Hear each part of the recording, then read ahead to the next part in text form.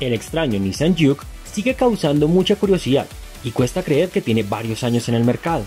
La marca japonesa no quiere dejar que su vistoso crossover pase de moda y por ello anuncia la segunda generación de este modelo, que mantiene aspectos claves, pero con un estilo más sofisticado y mejoras en todos sus apartados.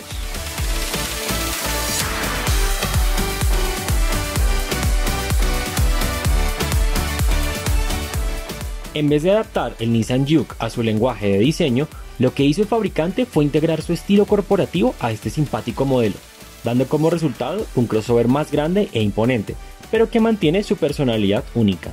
Ahora mide 4,21 metros de longitud, 1,80 metros de ancho y 1,60 metros de alto, mientras que su distancia entre ejes es de 2,64 metros.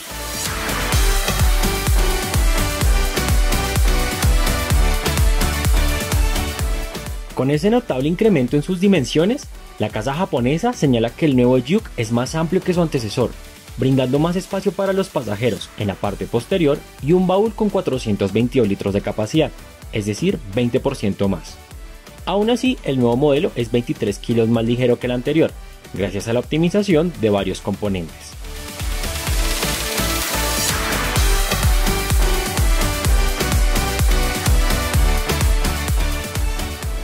En su interior nos encontramos con la interfaz Nissan Connect, con pantalla de 8 pulgadas, desde la cual se pueden gestionar diversas funciones. También estarán presentes varias ayudas de manejo, como frenado de emergencia, asistente de mantenimiento en el carril y monitoreo de punto ciego, entre otros. Pero lo más notable es la posibilidad de contar con el asistente de conducción autónoma Nissan ProPilot.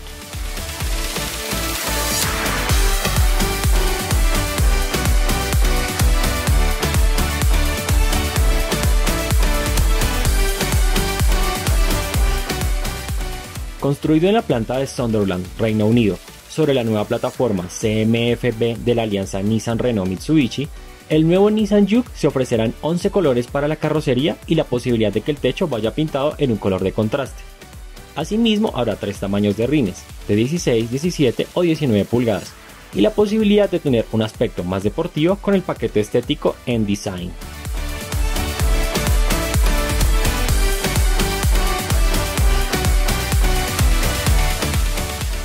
Por lo pronto, se ofrecerá en el mercado europeo con un motor turbo de 3 cilindros y 1 litro, que entrega 117 caballos de potencia y 180 Nm de torque, pero con la función Over Torque aumenta hasta 200 Nm durante un tiempo limitado.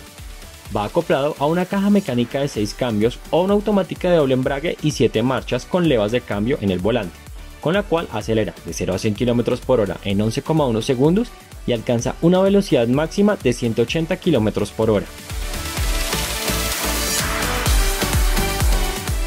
¿Qué les parece el nuevo Juke? ¿Les gustaría verlo pronto en Colombia? Déjenos todos sus comentarios al final de este video. Y recuerden, no olviden visitar nuestro portal autosdeprimera.com para que estén enterados de todas las novedades nacionales e internacionales.